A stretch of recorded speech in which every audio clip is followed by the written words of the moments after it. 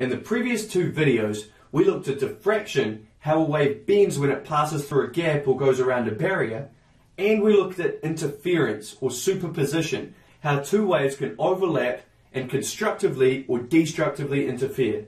Interference is a combination of these two ideas. Because a funny thing happens in an interference pattern. If you have light shone through two slits, instead of just seeing a reflection of these two slits on a screen on the other side, you actually see a whole series of lines, a brightest one in the middle, and then on either side, a whole series of lines fading out to each side. This is an interference pattern, and this video is about understanding how that happens. And it happens through diffraction and through interference and superposition.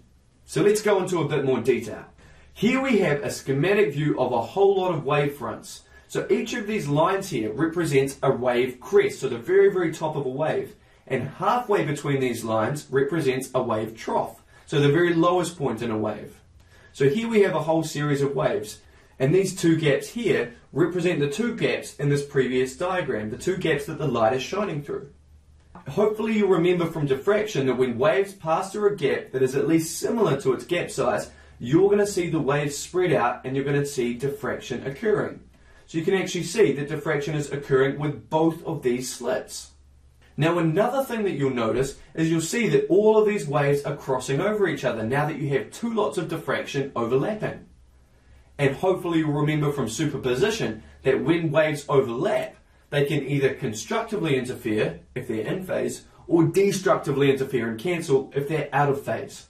So here, as you see all of these crosses, here are all points that we have constructive interference because we have a wave crest and another wave crest. That's two ups, so we're going to get constructive interference. The same with this next cross, the same with the third, and the same with the fourth. That would happen again when these two lines cross over. You would get constructive interference. So actually, we have a line of constructive interference here. In the same way where you can see these green crosses, as a line crosses over the middle of another two lines, now remember, a line is an up, it's the very crest, and between two lines is a trough, that means you're going to get destructive interference because we have this line coming around from the top and we're in the middle of the two lines coming around from the bottom. That means we're going to have destructive interference. And the same thing happens between these two lines here and with this line coming around from the top. We have a whole line here of destructive interference. What that means is we can look at both of these lines and we actually have to give them names.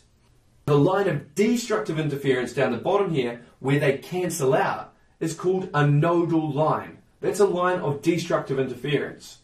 And if you want to imagine it, there's a node movement, just for a kind of pun, a way to remember it. Now, node movement means it's all being destructed because it has destructive interference. Now, in a kind of counterintuitive way, antinodal lines, the opposite of nodal lines, are areas or lines of constructive interference. So you're going to have really, really, really big waves along this line of constructive interference and absolutely no waves along this line of destructive interference because they're perfectly cancelling each other out. So if you were to actually see this, what it would look like if you shone light through two slips, it would look like this. This is a photo. You see a whole series of lines. Now these bright spots here are where the light has been constructively interfering. That means we have an antinodal line, a line of constructive interference. Between each of these bright spots of constructive interference, we have these dark patches where there is no light at all. Even though the light's diffracting, it's actually being cancelled out by opposite wavelengths of light. That means we've got destructive interference or nodal lines. And that's shown on this diagram by the dark patches where there is actually no light. So the light has actually been cancelled out and there is no light existing there. And these areas where the light does exist is actually a whole lot brighter because it's been constructively interfered with. Just as an aside, if you get actively noise cancelling headphones, it does the same thing. Now this doesn't just work for light. This might work for sound or any other type of wave. So if you hooked up two types of speakers and they were perfectly in sync, which is actually very hard to get speakers that good of quality, you would see that we have a whole lot of lines booming out from each speaker and they're playing the same note. So we have the same pattern of lines crossing over each other. We're going to get areas of constructive interference and areas of destructive interference again.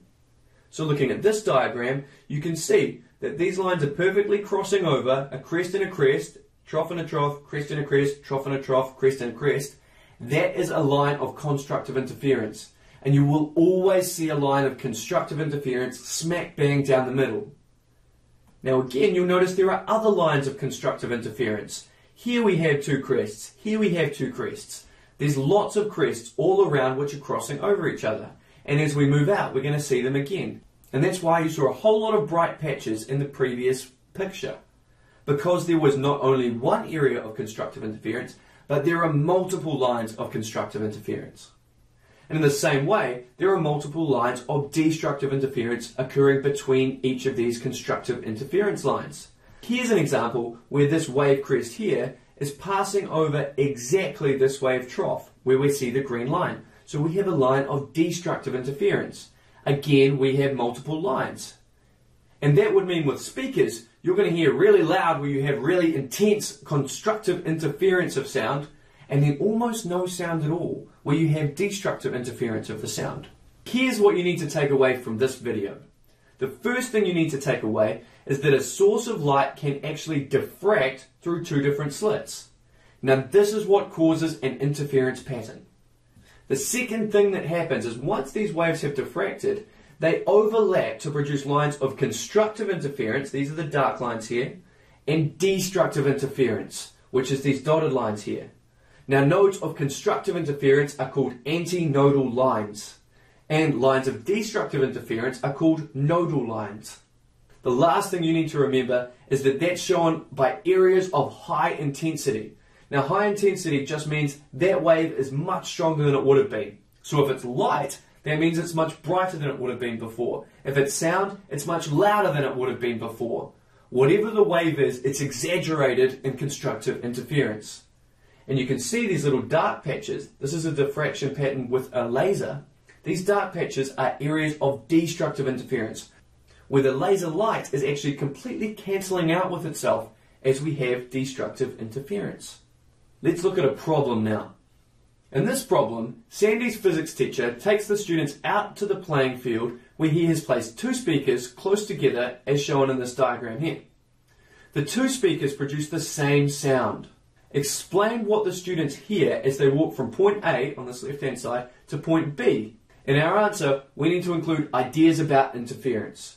As soon as you read in a question that you have two sources of waves, you've got two speakers like in this question, or you might have two slits in a paper, or something with two sources of waves, you have to know that that's an interference question. So when we think about what's going to happen, both of these speakers are going to give off waves. These waves are going to overlap and they're going to produce areas of constructive interference and areas of destructive interference. So if you were walking from point A over to point B, you would hear really loud sounds as you move past the constructive interference areas, and it's going to go much quieter when you go past the destructive interference areas. So your answer would look something like this. As the students move, they'll hear alternating soft sounds and loud sounds. This is due to interference. The loud sounds are where there's constructive interference, and the soft sounds are where there is destructive interference. And that is how interference patterns work.